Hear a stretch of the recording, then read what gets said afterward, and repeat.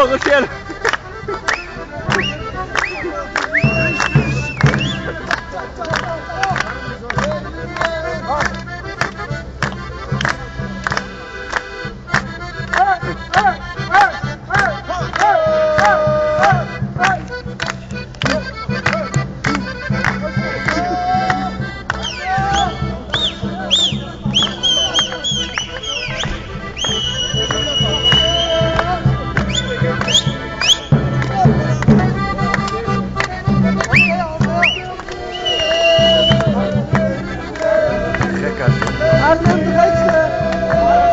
Hani Adam şarkı bile söyledi parayı görünce.